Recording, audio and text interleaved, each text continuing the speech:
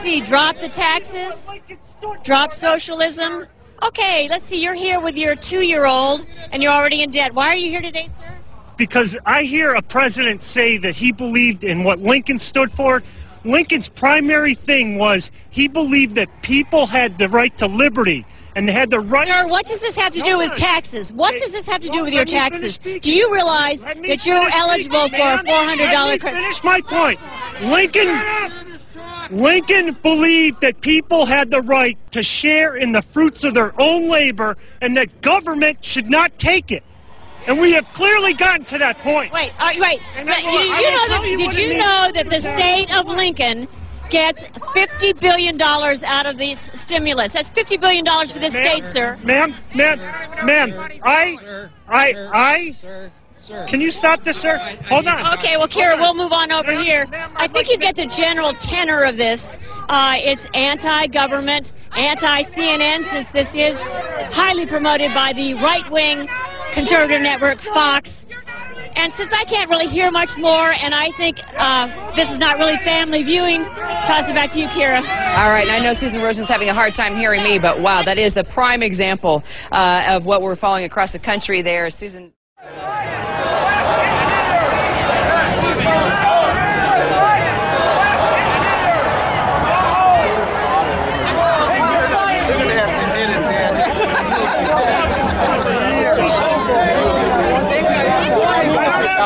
CNN because it doesn't respect us.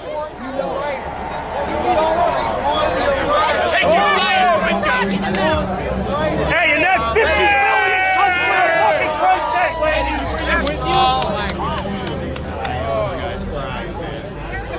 That's all. Not representative of most of the people out here. There aren't that many signs that have Hitler and Obama.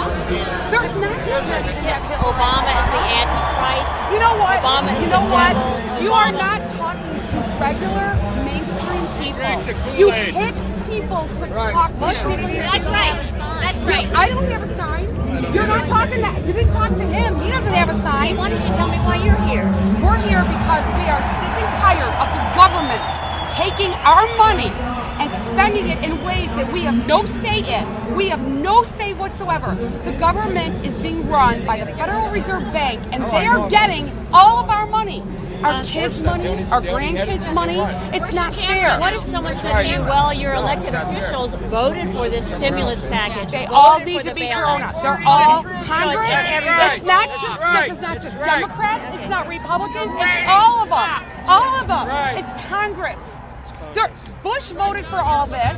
Obama voted You- for all of so it. you- it doesn't really matter to you whether it's Republican or Democrat. Absolutely not. And most people who are here do not believe that it's just the Republicans or just the Democrats. And what, and what group were you with that brought you out Hey, here? you want to hear I'm a suburban, self-employed woman. I don't have a group. No, I mean, how did you find out about it then? Oh, it's all over the news. It's all, everyone. We all It wasn't do. Like online, you know. Oh yeah, it's all yeah. over online. What What do you think the internet is for? Are you trying to play right. stupid? You know, you really don't need to be so antagonistic. Well, but you, I, we have watched what you you've been doing here, and it's not fair. Talking to people who are holding signs, I'm going to say the majority of the people here have Look signs. at his sign. Did you Did you look at his sign? I went to every sign that was in our field of view. Okay. This is not about Republicans and Democrats. This is about the government stealing our I didn't money. say it was about Republicans or Democrats. Well, So, you know, you guys, there are some people coming We're not here with here. signs. We're not Some here with people are asking, what does this mean? It means You're trying to tell me that you I'd be are happy to bad tell them what it people. actually